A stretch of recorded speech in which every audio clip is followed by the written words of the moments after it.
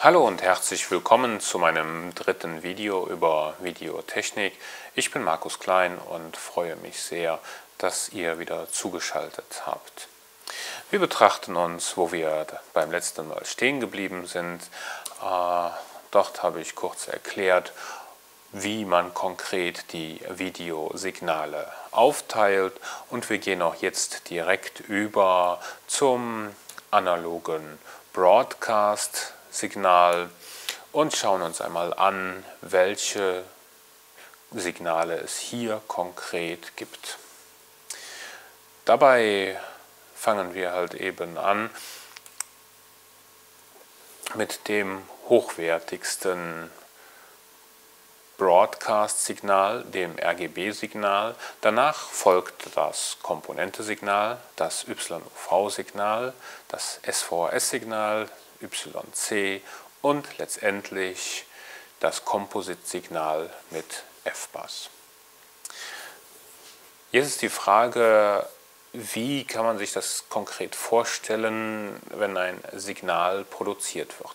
Klassischerweise schauen wir uns hier dann erstmal den Kamerakopf an, einer Broadcast-Kamera und sehen halt eben, dass hinter der Optik ein Prismenblock ist, welcher das Licht aufteilt in seine drei Bestandteile, rot, grün und blau, um dann halt eben von den dementsprechenden Sensoren erfasst zu werden und zu einem Videosignal umgewandelt zu werden. Dazu kommt noch das Sync-Signal. In sehr vielen Fällen wird das Sync-Signal in das grüne Signal mit integriert und man spricht hier halt eben von einem Sync-on-Green-Signal. Jetzt ist es so, dass das Videobild sich dementsprechend zusammensetzt aus einem roten, einem grünen und einem blauen Bestandteil. Beim nächsten Mal möchte ich zeigen, dass diese Bestandteile nicht gleich gewichtet sind, sondern unterschiedlich gewichtet sind, was sehr wichtig ist für die Generierung des Komponentensignals. Was haben wir heute gelernt?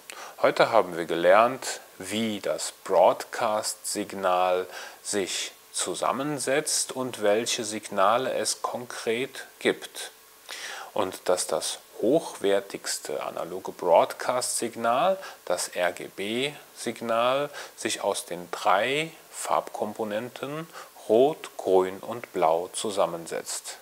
Beim nächsten Mal schauen wir uns dann die Gewichtung an und wie man mathematisch auch einen Farbbalken daraus generieren kann. Ich bedanke mich sehr, dass ihr zugeschaut habt. Hoffe, es war interessant für euch und wünsche euch noch einen angenehmen Tag. Bis dahin, alles Gute und auf Wiedersehen.